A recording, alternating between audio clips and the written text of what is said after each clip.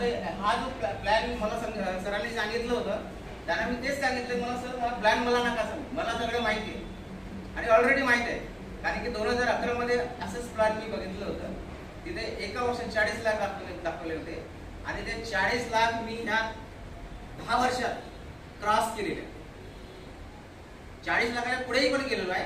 आता मी त्याचं टोटल नाही करू शकत. पण ते चाळीस लाख मी क्रॉस केलेले. आहे आणि हे ऐंशी लाख जे आहे मी दहा वर्षातच ते क्लास केलेले आहे कारण की मी तर कर्जत मध्ये घर घेतलेलं आहे इनोमांडमध्ये तीस लाखाचा टू बी एच के तर ते ऑलरेडी क्रॉस झाले. दुसरी गोष्ट आहे की हे ऐंशी लाख जे दाखवले त्यांनी वीस एका वर्षात दहा वर्ष महिन्यात तर हे तर मागे मी तर टार्गेट पकडला वीस वर्षाचा आता चाळीसशे प्लस वीस साठ. म्हणजे हा रिटायरमेंट प्लॅन पण तरी पण हा लवकरात लवकर पूर्ण होऊ शकतो. जर मी हा ह्या प्लॅन सीच्या मागे लागलो तर. जसं प्लॅन बी माझा प्लॅन ए आणि प्लॅन बी आहे. तर या हा पण कंप्लीट होऊ शकतो लवकरात लवकर. तर मी माझं म्हणण्याचं हेच अर्थ आहे की तुम्ही समजा सगळ्या गोष्टी सगळ्यांना समजत नाही. मला पण नव्हत्या समजल्या पहिल्यांदा. दोन हजार अकराला इवन दोन हजार जसं जसं माणूस माणसं वाढतात ना वय वाढतं तसं तसं एक्सपिरियन्स वाढतं. मला पण एक्सपिरियन्स आला.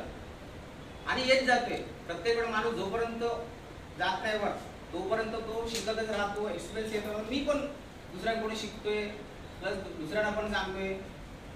या सगळ्या गोष्टी. आता परत तुम्हाला अजून एक सांगतोय की ही बचत खूप महत्वाची आहे. जर जीवनात बचत नाही केली तुम्ही ना तर तुम्हाला पैसा खूप मोठा झालेला आहे.